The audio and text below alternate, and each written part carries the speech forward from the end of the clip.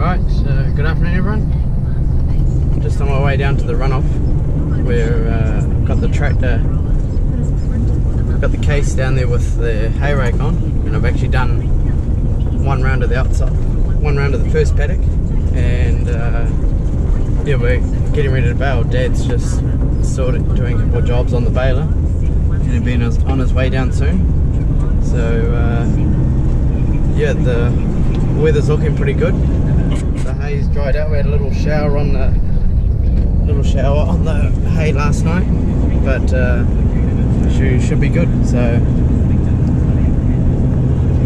yeah, that's the plan. So we're gonna head down there now and start raking it up, and uh, Dad will be down shortly.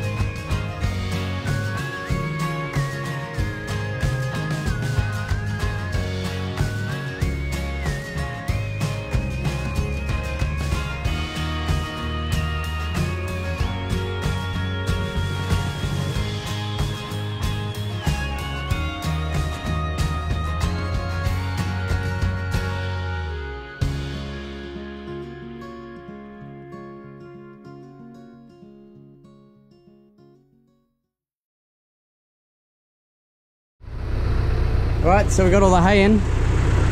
We ended up having 560 bales, I think. So it all went pretty smoothly. We had one breakdown with the baler. A stick came up through the plunger and caused the baler to stop tying knots, both of them. Wasn't tying any knots. So uh, yeah, it's uh, really happy with that. So everything went well, the new rake went well, did a good job. So we're heading home for some pizza now. So thanks for watching and uh, we'll catch you somewhere else on the farm. See ya.